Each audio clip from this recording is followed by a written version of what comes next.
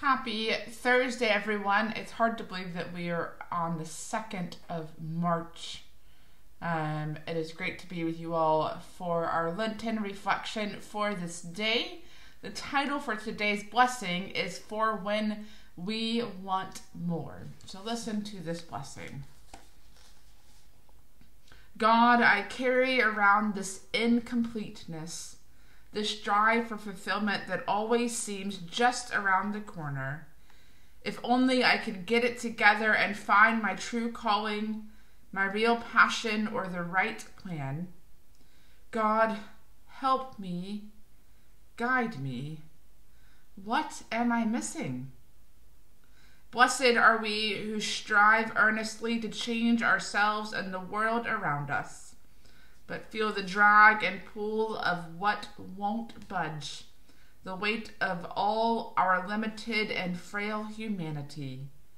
We carry it with us. Blessed are we, the hungry in lives that are both too much and not enough, willing to tell the truth to ourselves and to each other, that we languish here and what is perhaps the central paradox of our condition that what we hunger for, perhaps more than anything else, is to be known in our full humanness, and yet that is often just what we also fear more than anything else.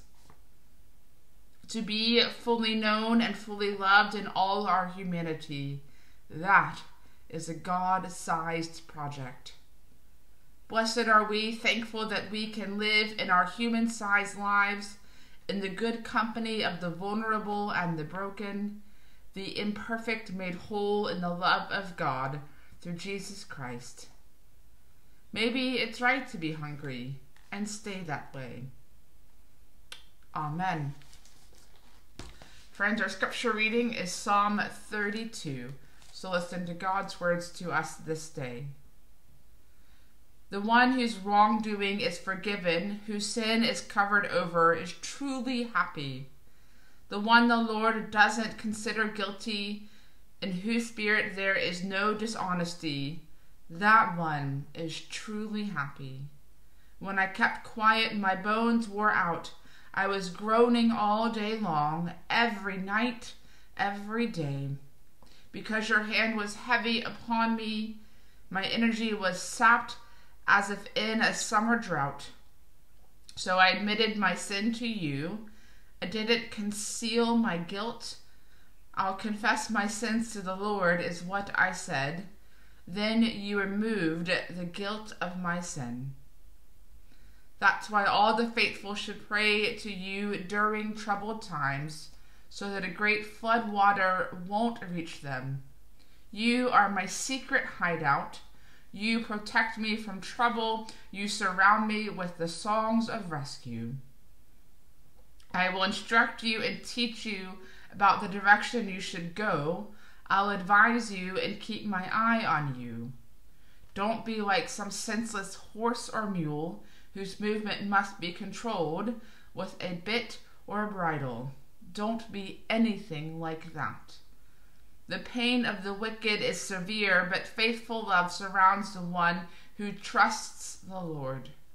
You who are righteous, rejoice in the Lord and be glad. All you whose hearts are right, sing out for joy. Friends, the words of God for the people of God. Thanks be to God. The psalmist talks about how hiding our humanness from God compounds it but when we tell God the truth about our condition, God becomes the place of safety we had longed for.